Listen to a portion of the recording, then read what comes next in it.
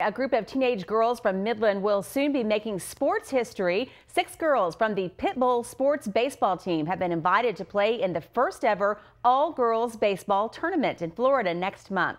CBS 7's DeAnn Lopez caught up with the team. DeAnn?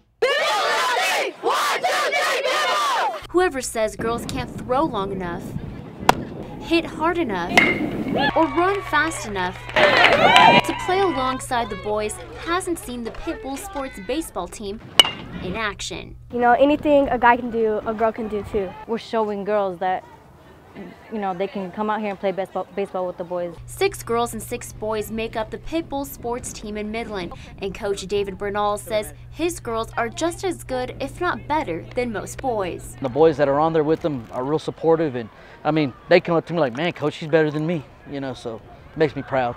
On May 30th, the six girls, along with four other girls from Dallas, will be playing on a similar field as this in Orlando, Florida. Not only will they be representing the state, but also us right here in West Texas, which is why they can use all the help they can get from the community.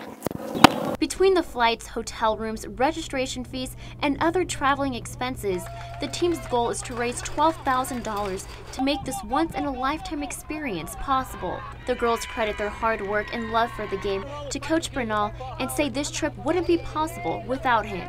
Our family, we teach.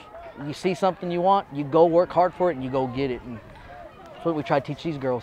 Now, there are a number of ways that you can help get the team to Orlando, Florida. One of the ways is by purchasing a raffle ticket for this signed baseball, which was signed by the Texas Ranger player Elvis Andrus. Or you can donate on their GoFundMe page or bank account. Now, we posted that information on our website at CBS7.com.